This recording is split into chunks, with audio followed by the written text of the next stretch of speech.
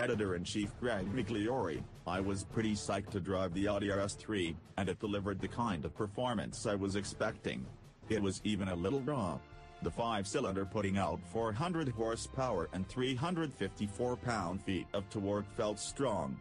It's a lot of juice in such a small sedan. It sounded good. Buzzy and angry. Even a little uncouth.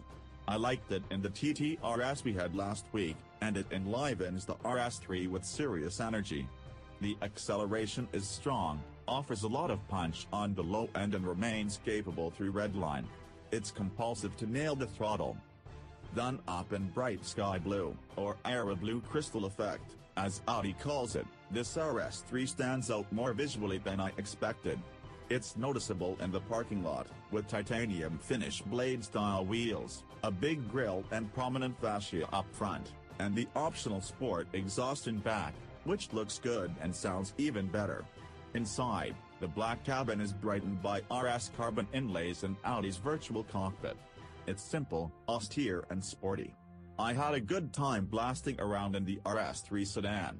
It lived up to expectations.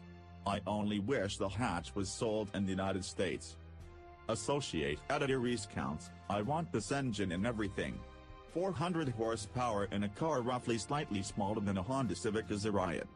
Cars have gotten so big these days that something as small and as nimble as the RS3 is a wonderful thing. Audi's new inline 5 has to work for days. It delivers power smoothly, pulling all the way to redline with little lag from the single turbocharger. With all-wheel drive and a slick 7-speed dual-clutch transmission, the car will hit 60 miles per hour in fewer than 4 seconds. These are supercar-level numbers from a decade ago. Yes, it's expensive, but so is everything in this competitive set. A BMW M2 or Mercedes AMG CLA 45 with similar options costs roughly the same. I'd take the Audi over the AMG any day, though it's far more complicated when it comes to the BMW. I think the Audi looks and sounds slightly better, but I like the balance of the M2. Plus, you can get it with the stick shift. Still, it's nice to have options, even if they're pricey ones.